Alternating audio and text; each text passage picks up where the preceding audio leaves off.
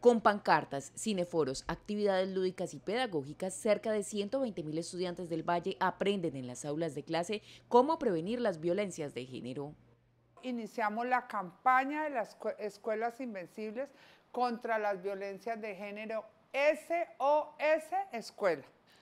Trabajaremos en las 148 instituciones educativas de los 34 municipios no certificados, con herramientas pedagógicas en la prevención de las distintas formas de violencia de género que impactan la vida escolar y social 148 maletas fueron repartidas en las instituciones educativas del Valle del Cauca y cuentan con guías metodológicas, videos educativos, elementos, materiales didácticos que les permitirán sensibilizarse sobre la importancia de identificar los tipos de violencia y las rutas de atención habilitadas. Cada institución ya cuenta con la maleta pedagógica, en la cual hay todos estos elementos didácticos y guías para sensibilizar la comunidad educativa.